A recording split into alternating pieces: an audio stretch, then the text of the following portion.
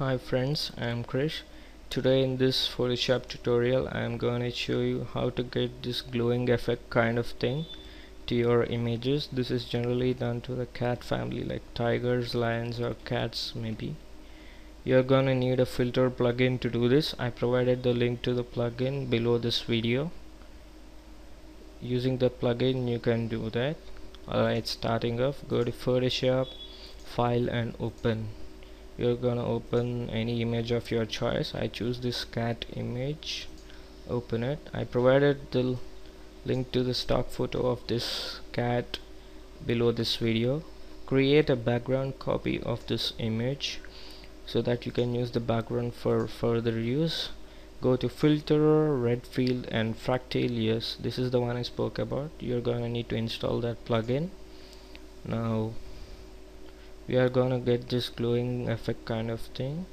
So make sure that the mix is 100 saturation of about 38 or 39 scale of around 45 and you can just adjust this brightness according to the image you have chosen.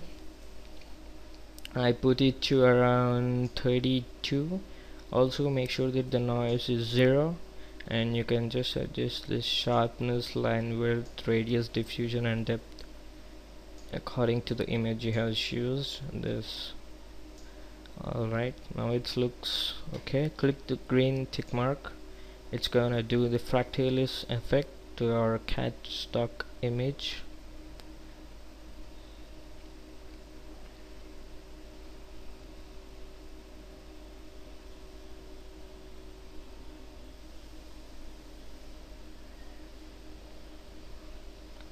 alright now create another background copy that is a background copy 2 and make sure it's on the top. We are gonna need these eyes to get a good effect so we are gonna grab the eraser tool. Make sure the master diameter is around 139 pixels for this image. And erase this entire background except the eye part. Just keep the eyes so that you can get a good effect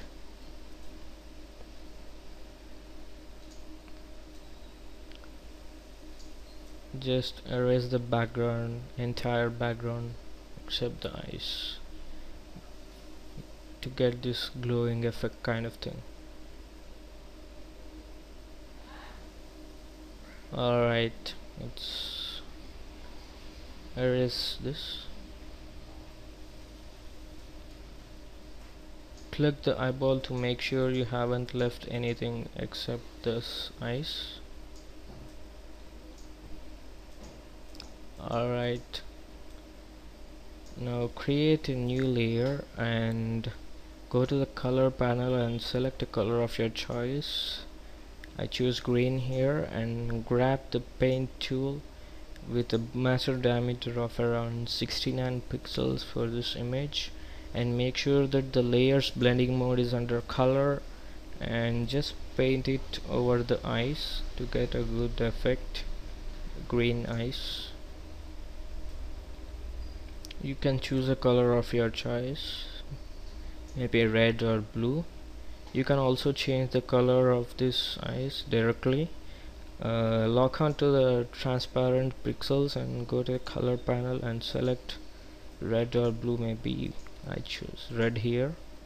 And just do the same thing paint it over.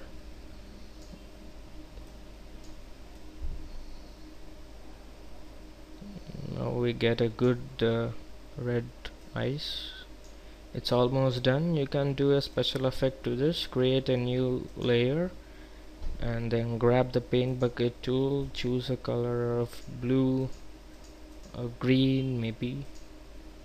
And then just fill it and then make sure that the layers blending mode is under hue so that you get this green glowing kind of thing. Now we are gonna need red eyes to this green effect. So just drag layer 1 onto layer 2 to get this effect.